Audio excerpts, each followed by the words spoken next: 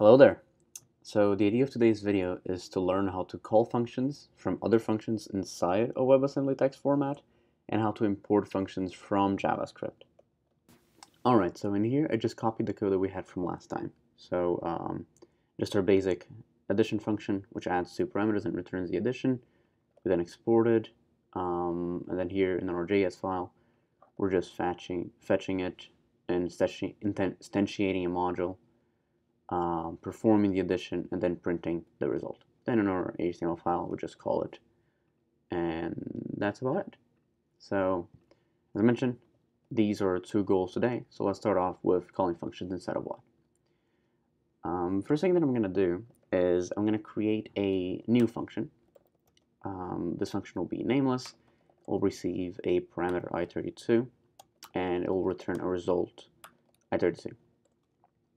Okay, now um, sort of overcomplicating the problem, but what I want to do is instead of getting this local get zero, I want to pass this value onto this function and get its result and then perform the addition with its result. So we're just sort of piping it to another function, which we don't really need to do, but just for purposes of demonstration, I'll do that.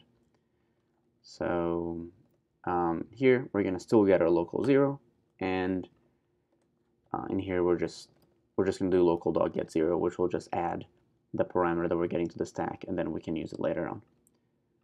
But yeah, local dot get zero, and here that's the important piece of syntax is call, and I'm going to refer to to it as zero because that's where it is in the um, S expression tree. All right, so what's happening here? We're calling our, we're getting our parameter zero, we're calling a function and we're passing it this parameter and this is then just adding it to the stack. So in here we have an i32, in here we have another i32 and we can just add the two. Nice.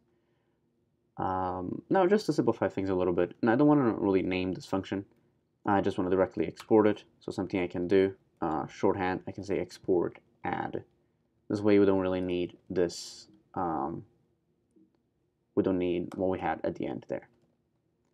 Right, so our code is looking nice. Um, let's try running it.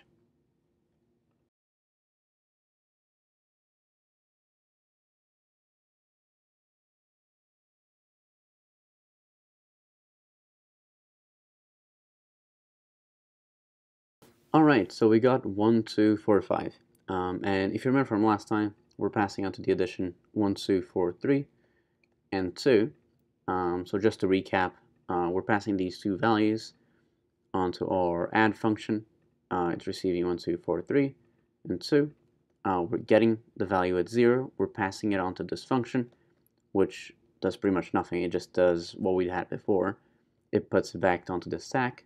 Um, now this function is going to return what we had, so 1, 2, 4, 3 in here we're going to get our 2 it performs the addition and that's what we're returning and then printing with result. Great so now let's talk about the second part of the video which is importing functions. Okay so our motivation for importing a function um, right now is because I don't want to do console.log after we get the result. I just want to call result and I just wanted to well, console log, whatever we get after the addition. So yeah, I just want to call this one statement. Uh, what that means is that we want to pass console log onto WebAssembly. Okay, and now this part is a bit verbose, so I'll do the code and I'll explain it um, afterwards.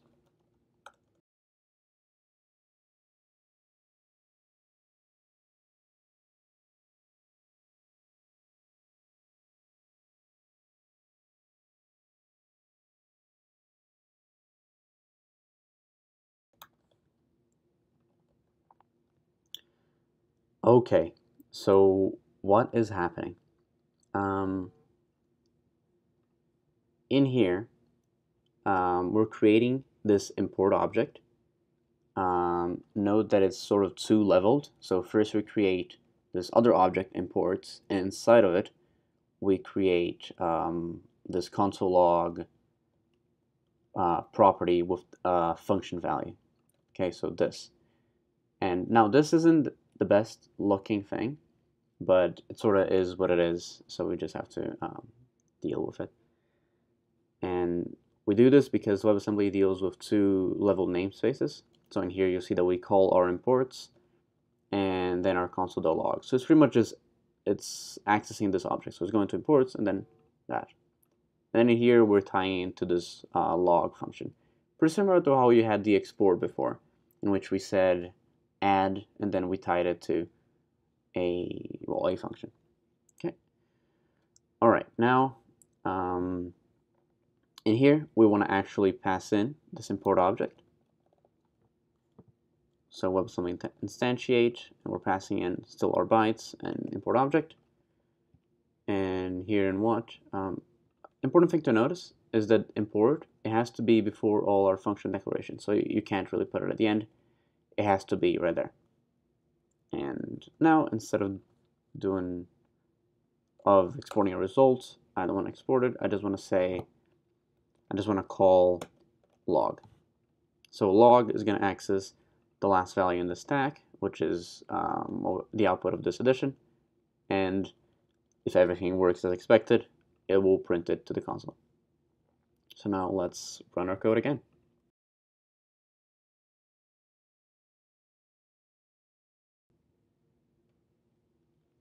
Oops, I noticed a mistake. Uh, in here, I wasn't accessing the function by its name. I was accessing by its index. Um, now that we added the import, this function is no longer index 0, it's actually index 1. So that's a reason why we will probably want to name our functions, but I'm lazy, so I'll just change that to 1 again. So now let's actually run our code.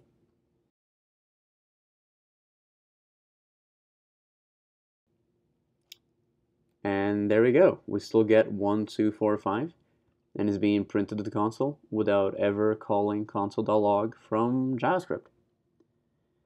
Um, not too exciting of an outcome, but um, it's pretty cool for what it allows us to do in the future. So stay tuned.